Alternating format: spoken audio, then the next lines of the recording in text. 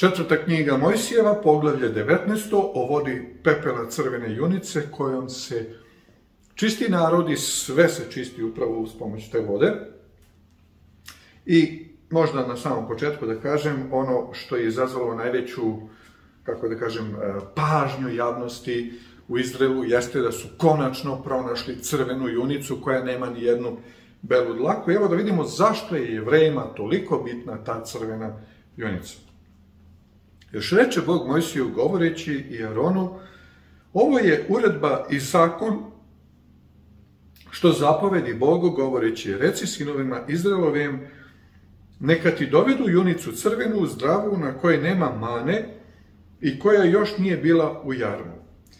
I podajte je Elijezeru, svešteniku, a on neka je izvede napolje izvan logora, pa da je e, zakolju pred njim. I uzevši Elijezer krvi njezine na prst svoj, neka pokropi krvlju prema šatoru od sastanaka sedam puta, potom neka zapovede da se spali junica pred njegovim očima, kožu njezinu i meso njezino i krv njezinu i balegu njezinu neka spale. Dakle, kompletno onako kako jeste. I sveštenik, uzevši drveta kedrova, isopa i crvca, neka baci u oganj gde gori junica. Dakle, crvac je skerlet tkanina crvene boje. Potom neka opere haljine svoje i opere telo svoje vodom, pa onda neka uđe u logor i neka bude sveštenik nečist do večera. Dakle, tu se priprema pepeo za očišćenje.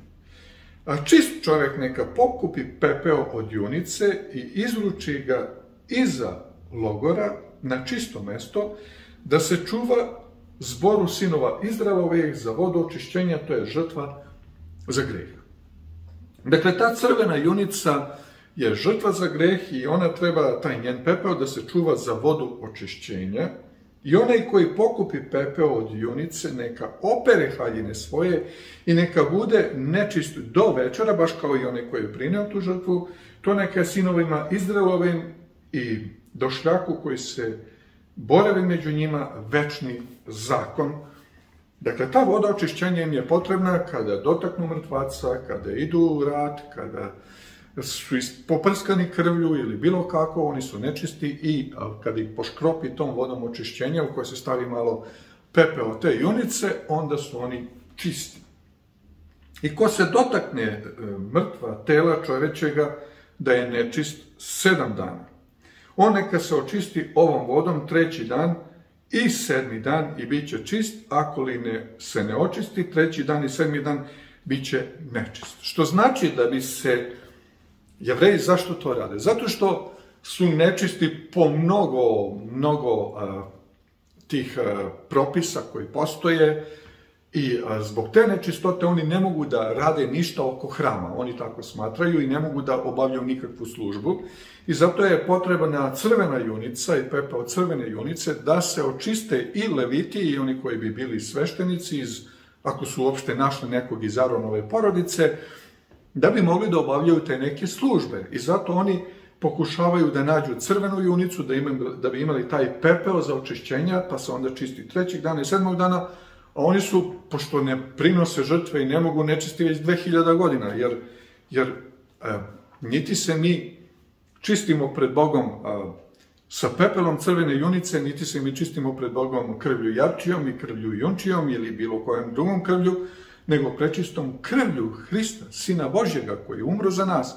Ali pošto oni njega odbacuju kao Mesiju i Spasitelja, oni i dalje čekaju svog Mesiju i Spasitelja, i zato im sada treba crvena junica. Zapravo reč je o, o, jednom totalnom haosu kod njih. Ko se dotakne mrtva tela čoveka pa se ne očisti, ona je oskrnavio šator Božji, zato da se pogubi ta duša iz Izraelja, jer nije poškropljen vodom očišćenja, zato je nečist i nečistota njegova na njemu. I zato kažem da su jevreji do dana današnjeg nečisti. Ovo je zakon kada čovek umre u šatoru, kogod uđe u one šator i kogod bude u šatoru, nečist da je sedam dana. I svaki od sudova otkriven koji ne bude dobro zaklopljen, nečist da je. I ko se god dotakne u polju posečenoga mačem ili umrloga ili kosti čovečih ili groba nečega, da je sedam dana nečist. I neka za nečisto, i neka za nečistoga uzmu pepela od junice spaljene za greh i neka naliju vodu, naliju na nju vode, žive u sud, to je izvorske vode, potom neka uzmu, neka uzme čist čovek i sop i zamoči u onu vodu i poškropi njom šator od sve, od sve tu gde je taj neko umro i sve posuđe i ljude koji su njemu bili tako i onoga koji bi se dotakao kosti ili čoveka, posečenoga ili umrli ili groba. Čisti nečistoga neka poškropi treći i sedmi dan i kada ga očisti sedmi dan neka opere haljine svoje i sebe neka opere vodom i bit će čist uveče. Dakle, potrebno je jedan čitav ceremonijal kako se čisti i posuđe i šator tamo gde je neko umro i oni koji su nečisti i treći dan mora biti sve to poškropljeno i sedmi dan i onda sedmog dana uveče, to je kad zađe sunce, bit će čisti. I ko bude nečist pa se ne očisti da se istrebi, to je da se pogubi ona duša iz zbora, jer je svetinju Božju oskrnavio i nije, se, nije poškropljen vodom očišćenja, nečist da je. I ovo neka vam je zakon večan koji pokropi vodom očišćenja, neka opere haljine svoje i ko se god dotakne vode očišćenja, da je nečist do večeri. Čak i onaj ko to radi, on je nečist do večeri. I čega se god dotakne ko je nečist, da je nečisto i ko se njega dotakne, da je nečist do večera.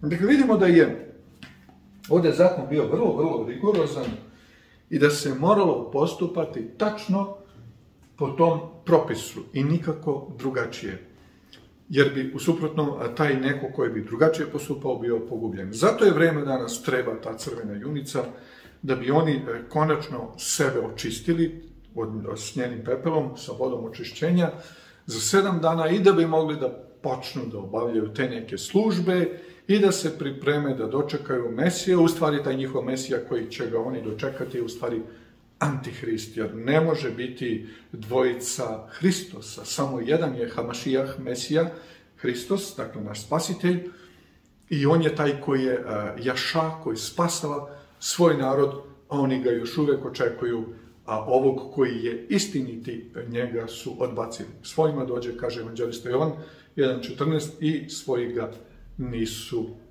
primili. Veliki sili na stvoritelju, hvala neka ti je za preveliku, presvetu žrtvu Sina Tvoga Hrista, koji je umro za nas na krstu Gogote, i hvala neka ti je što smo očišćeni i oprani u krvi jagnjetovoj i što nam nije potrebna sada voda očišćenja i škropljenje vodom očišćenja i pepeo crvene junice, već nam je sve to obezbeđeno u ljubljenom Sinu Tvome i ti nas blagoslovi, da ti budemo verni i poslušni i da stojimo čisti pred Tobom i očišćenjem Sinu Tvome, i čuvaj nas i štiti i blagoslovi i daj nam zdravlja i daj nam mudrosti da živimo po Tvojoj svetoj reči u ovom složenom vremenu, a Tebi neka je sva zahvalnost, sila, moć, čast, na ljubavi i milosti, na daru spasenja u ljubljenome do veka večno i u sve vekove vekova večno. Lepo odla svima, dragi mi prijatelji.